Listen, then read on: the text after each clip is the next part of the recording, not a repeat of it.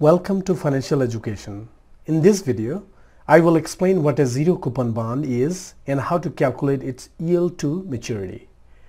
A zero coupon bond is a debt security that does not pay interest or coupon, but is traded at a deep discount, rendering profit at a maturity when the bond is redeemed for its full face value. One of the downsides of zero coupon bonds is that although no payments are made to the holder until the bond matures, she may have to pay income tax on the assigned interest that accrues each year. Yield to maturity, also known as YTM, is the total return anticipated on a bond if the bond is held until it matures. In other words, it is the internal rate of return of an investment in a bond if the investor holds the bond until maturity with all payments made as scheduled and reinvested at the same time. Let's take a numerical example. A zero coupon bond with face value of 1000 and maturity of 5 years sells for $746.22. What is the yield to maturity? To solve this question, I am going to use Texas BA2 Plus calculator.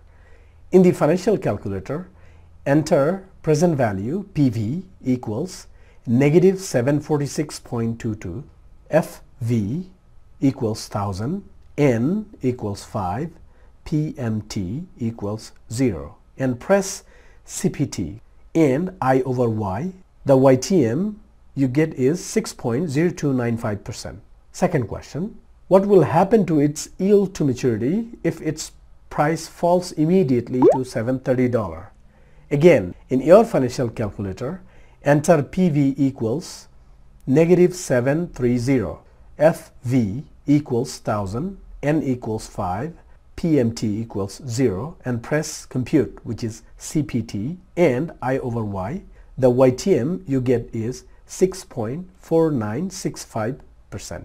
As you can see, if the bond price falls from 746.22 to 730, the YTM of the bond goes up to 6.4965%, suggesting that bond price and YTM are negatively related.